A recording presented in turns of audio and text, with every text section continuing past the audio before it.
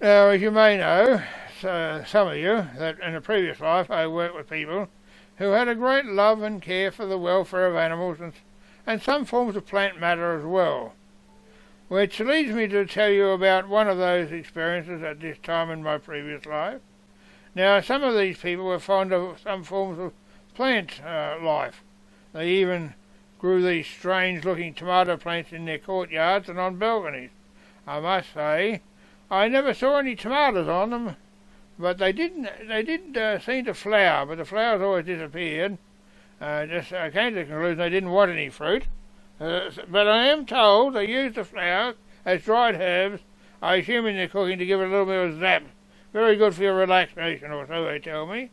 But then it takes me to my story. Now I got to, I got invited to one of these friends who happened to have like these kind of illicit tomato plants growing on his balcony.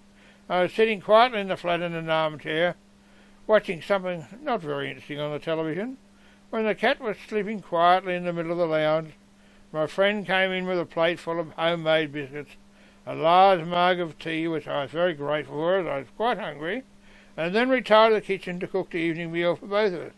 As I sat there, I ate several of these homemade biscuits, drank my tea, sank back into my armchair, with an air of total satisfaction, and was about to compliment my friend on his homemade biscuits and tea, when something caused me to sit bolt upright in my armchair, with eyes and mouth wide open with shock, and a striking realization that something is not all that it could be. As I let out a bird-curdling scream, bloody Christ Almighty! As a large white flash came screaming out of God knows where, and then tore across the room and descended upon the cat, who was peacefully having a nap in the middle of the carpet.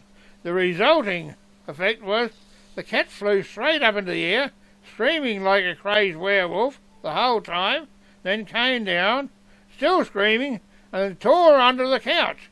Meanwhile, the white flash also got a fright from the reaction of the, of the cat, or my screaming, flew straight up in the air and, coming down, tore off under the other armchair. My friend, hearing all the screaming and blood curdling yelling, came running into the room.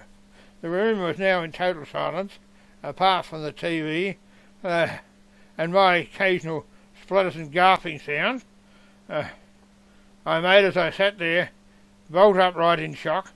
My friend was thinking I'd had some kind of allergic reaction to his biscuits, and now I was calling an ambulance as I finally managed to gasp out the word rabbit.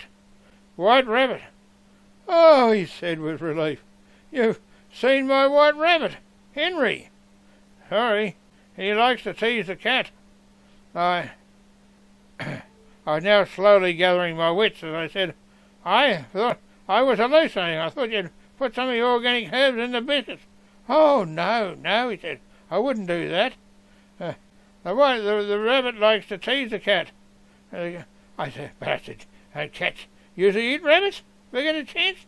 And that rabbit didn't look like it was playing unless it liked leapfrog.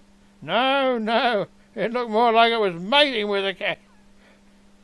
I have to say the cat the family were not keen at all. In fact, I think I can say, without fear of contradiction, the cat was horrified at the idea. this is not normal cat, dog, rabbits don't. It is not normal. Does a rabbit not tear up the carpet, chew the furniture, etc., etc.? No, it has a scratching post, sandbox, and plenty of things to, to eat that wear down its teeth. Why, you could have warned me. I damn near had a seizure and a heart attack.